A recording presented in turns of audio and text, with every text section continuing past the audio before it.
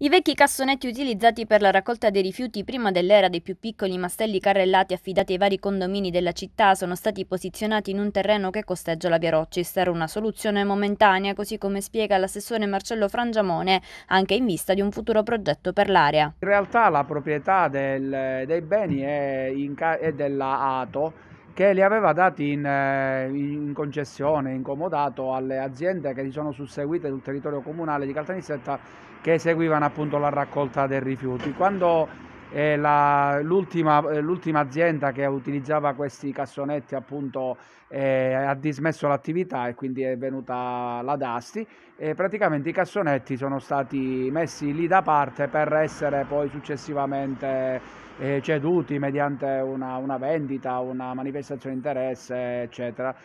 Noi siamo eh, abbastanza vigili su questa cosa, ho chiesto personalmente al, al commissario liquidatore dell'atto di accelerare le procedure per eh, per la cessione di questi, eh, di questi oggetti, di questi cassonetti, anche perché sull'area abbiamo delle intenzioni importanti. Cioè, recentemente abbiamo approvato una delibera per utilizzare quest'area che eh, voglio ricordare ci è stata concessa dal, dallo Stato tra i beni confiscati dalla mafia e lo scopo del comune è quello di realizzare un parcheggio plurifunzionale che può servire appunto per, come parcheggio auto, pullman eh, o anche per attività, manifestazioni sportive, eh,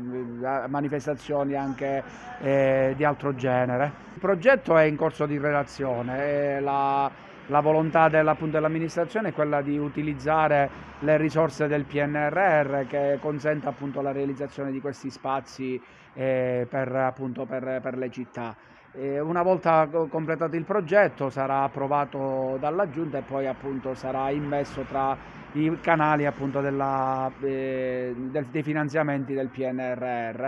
Nella stessa delibera in cui viene indicata la nuova destinazione d'uso in progetto per il terreno di Via Rochester si fa riferimento anche ad un'altra area, quella di Contrada Ramilia, per la quale si prevede un canile comunale.